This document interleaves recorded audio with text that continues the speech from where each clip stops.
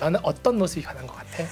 음 별로 없는 것 같은데 방 나갔던 와이프가 방으로 돌아왔습니다. 아이들이 있고 또 비즈니스를 하다 보면 와이프한테 오롯이 집중할 수 있는 시간이 없잖아요.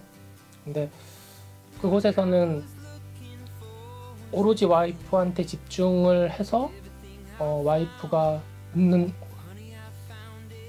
웃는 모습도 보고 어, 우는 모습도 보고 또 기도하는 모습도 보고 어, 정말 그렇게 보석 같은 모습들이 많았는데 어, 그걸 참 많이 놓치고 살았구나라는 생각도 들었고요.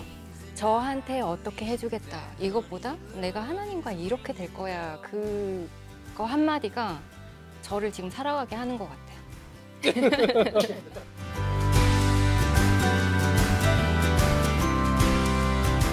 God blessed us with with with uh, our first child, um, And second. and second, And third. and third, and our family grew. I needed to make adjustments and really ask for God's guidance.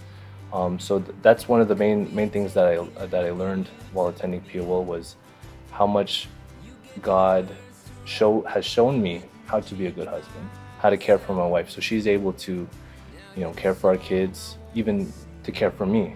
This POL, we build up our relationship together in God.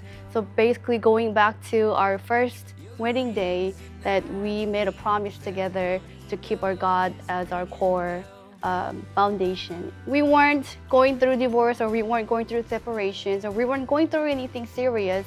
But as a married couple, we all do have difficulties and struggles and you know ma- many many arguments. And um, attending pol it gives us such a great quality time to spend each other uh, and then pray together worship together.